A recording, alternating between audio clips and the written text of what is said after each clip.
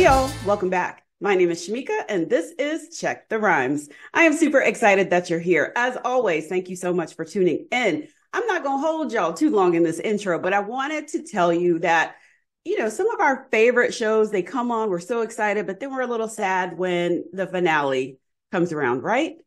That's no different from the Great American Recipe. Season three is winding down, and the season finale airs on Monday, August the 12th at nine o'clock on PBS. Now, the show celebrates the stories and recipes of eight talented home cooks. Now, in the house today, returning back to Check the Rhymes, is the host of the Great American Recipe, Alejandra Ramos. So she's going to tell us what we can expect and more, so stay tuned.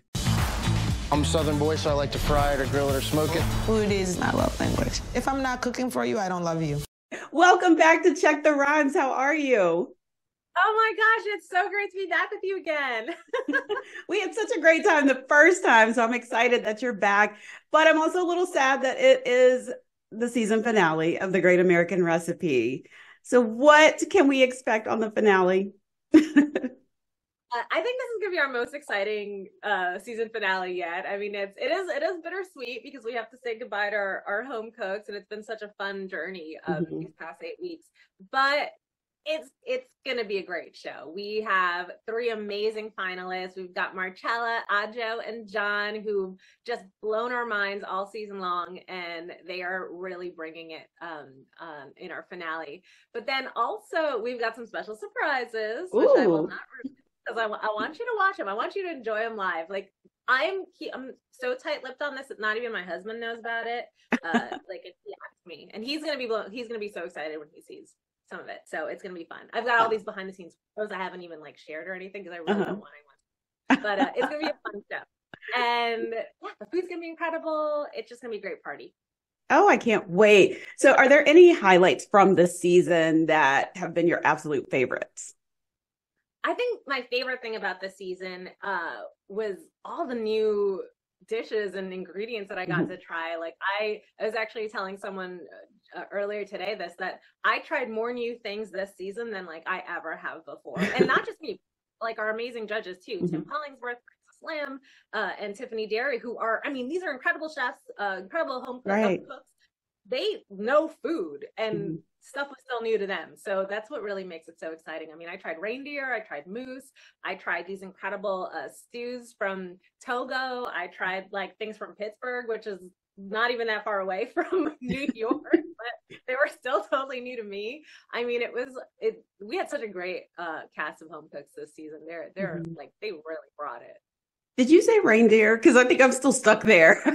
like Rudolph. Reindeer. I know that was like, and I think that was I want to say that was like the first the first week. I mean, mm-hmm. it was like straight out the gate. We were like, oh, okay, because she was from Alaska, and yeah. so she brought um, a lot of these local dishes that we, you know, are not as typical in other parts of the mm-hmm. country.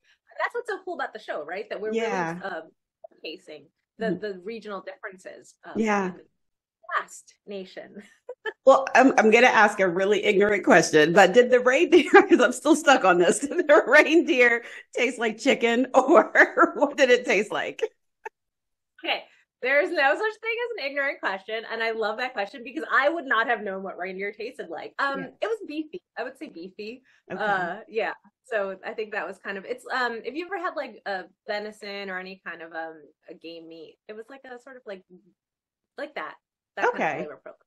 Um, okay. Yeah, I mean, it, it was great. It was exciting, and there was also like good, like fun seasoning and stuff. There was also this like Alaska sausage, so it like combined a lot of different flavors.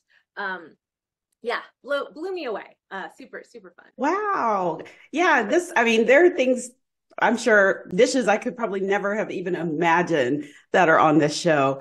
Um, so, as the host, though, how do you create this positive environment for those contestants as they're moving through the process? Because it seems like you're just you're so sweet you're so encouraging like how how do you maintain that through the whole season I mean, I think honestly, it's just genuine. I am like a high energy person from the moment I wake up um, until the moment I go to sleep. um, sometimes my husband's like, "Settle down, lady." Um, but yeah, I. But I think that it's. I love what I do, and mm-hmm. I. I mean, I love our show. I love our cooks. I love eating. I love PBS. Um, and all having all of that come together, it's just yeah. it's fun.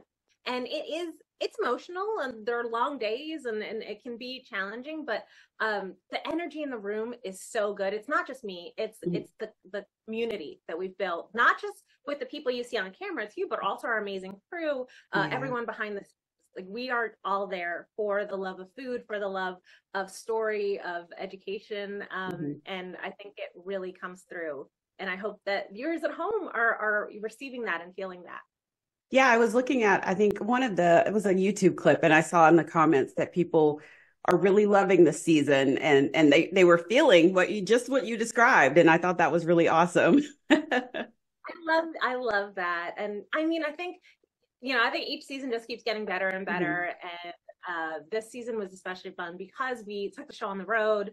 We're in Nashville, Tennessee. We uh, have two new judges that joined our family. So mm-hmm. just kind of, and, and of course, these eight brand new cooks.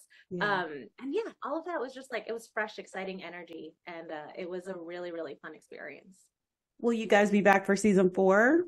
Maybe. You know, we are. I am gonna. I like to stay present, right? Got to stay mindful, um, right? focus on our, our finale and uh, celebrating and, and really making sure that our winner gets their due and that we can really just you know give them all that joy and celebrate them. Um, and also just celebrate all of our cooks, all eight of our cooks and, and their journey and their, their dishes and everything that they shared with us this season. Uh, and then, you know, if we've got great news, I'll be sure you you find out ASAP. Okay, perfect.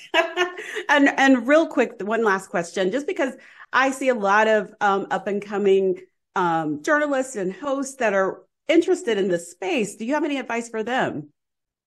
I love that question. And um, yeah, and I'm always like happy to chat with folks who are interested in it. I mean, I think for me, this has always been a journey about following my passion and mm-hmm. really, I, I say I'm whim driven, right? Like I, yeah. I kind of follow my and I go with the things that I love. And I think that anytime that you really put yourself into that and just be genuine and be yourself and don't feel like you need to fit a specific mold of something you've seen on another chef or another cooking show, right? Like you just mm-hmm. be yourself because that is in on TV, in food, in all aspects of your life, right? That's mm-hmm. when you thrive. You can really be your your most authentic self because um, that's what's going to light other folks up. Uh, and so, yeah. yeah. That's great advice. I think people um, sometimes forget that they don't have to just emulate somebody. They could just be themselves and be authentic. I mean, you don't want like a bunch of copycat versions, right? Like right. that's that's what sparks you is when someone's like, yeah, they're they're there's something special. There's something new there. So well, I want to thank you for coming back on Check the Rhymes to talk about the season three finale. It airs on Monday, August the 12th at nine o'clock on PBS. I will be watching uh, and I will be standing by to see if we're going to get another season. And hopefully you guys will eventually make it to North Carolina. oh, I would love that. That'd be so, I would love to like all over the country. Let's do it. Yeah. well, have a great day. Thank you, Shameika. Thank Take you. Care. You too.